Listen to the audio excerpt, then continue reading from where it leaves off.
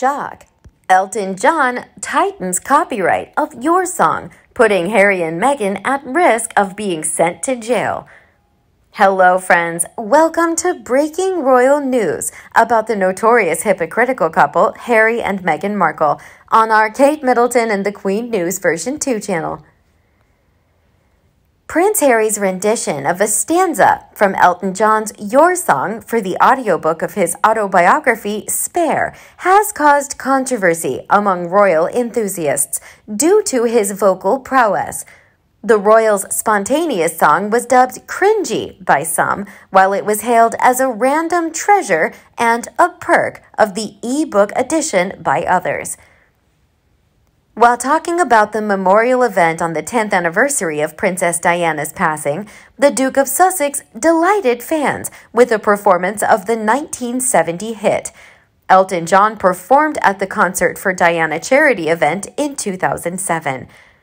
In his biography, Prince Harry says that Elton John declined to sing Candle in the Wind at the charity event because he thought the song was too gloomy.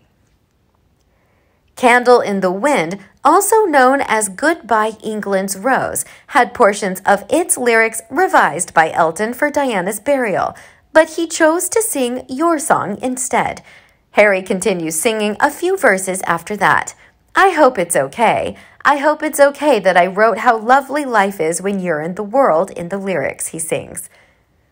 Harry's singing was criticized by some as being out of tune, while others applauded him for putting his personality to the words on the page.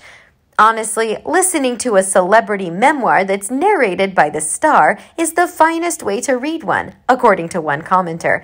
The rules are not set by me. After reading numerous more lengthy war chapters and anecdotes, Prince Harry singing Elton John has lifted my spirits. Another person said, You get to hear Prince Harry sing, which is another benefit of listening to the audiobook. However, a third person chimed in saying, Whoever permitted Prince Harry to sing for the audiobook should be transported to Siberia. His voice is cringy enough, but then he had to sing, wrote a fourth. It follows Meghan's performance of the classic 1960s song Land of a Thousand Dances for fans during the couple's Netflix series. In 2018, the Duke and Duchess of Sussex danced to the song during their wedding, which was attended by A list celebrities, including Harry's close friend Elton John. In an interview for the Bombshell documentary, Meghan explains their decision for the first dance, saying, I just really wanted the music to be enjoyable, even our initial dance. Song of a Thousand Dances, she asks Harry as she turns to face him. A million dances. I usually make mistakes. The Duchess then belts out the 1960s soul ballad Land of a Thousand Dances, which Wilson Pickett and Cannibal and the Headhunters subsequently made into a greater smash. She says that was our first dance.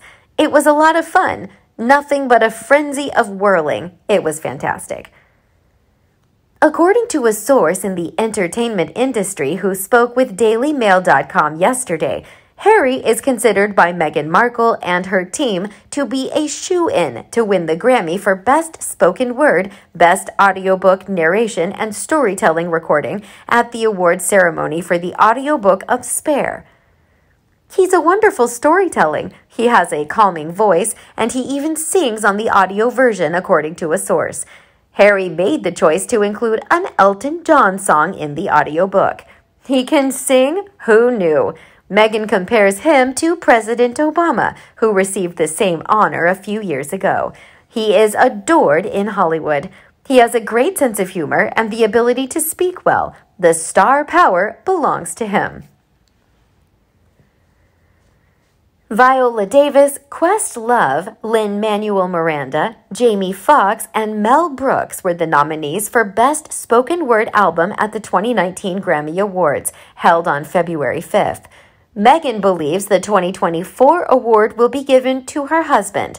The on Insider continues. There's even been talk of Harry appearing on the forthcoming Academy Awards as a potential presenter in March.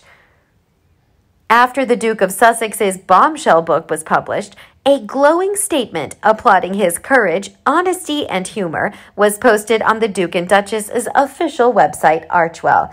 Best wishes to Prince Harry on the publication of his autobiography, Spare. As your team, we are honored to support you and cheer you on as the world hears your story in your own words for the first time. I appreciate your bravery, honesty, lightheartedness, and humor. We are all motivated with you. With appreciation, your employees and colleagues at Archewell and the private office of the Duke and Duchess of Sussex was written at the bottom of the letter. While it's obvious that Meghan admires her husband, she has significantly stepped back from his protracted media tour and given Harry the limelight. Since the book's publication on January 10th, the prince has participated in a number of high profile media appearances, including an interview with Anderson Cooper for CBS's 60 Minutes. Additionally, he made a solo appearance on The Late Show with Stephen Colbert. In December 2022, when the royal couple flew to New York to collect an award for their heroic battle against institutional racism within the royal family, the Duchess was last seen in public with Prince Harry. According to sources who spoke to The Telegraph, Meghan may have been charged with trying to snatch the spotlight had she been involved in any way with the book's promotion. Some people have said Meghan's absence conveys a message that this is Harry's initiative. A source close to the pair claimed that Meghan was warier than the prince about the intensely intimate biography and that she may have expressed soft reservations. The Duchess was supportive, though, after Harry decided to move on with the two year project with author J.R. Moehringer. Is this how she would have handled the situation? Maybe not, one source stated. She would never have gotten engaged in marketing such a personal undertaking, but she will always support him. His life, his travels, and his viewpoint are all crucial to this. One audience member commented on Harry and Meghan's recent activities.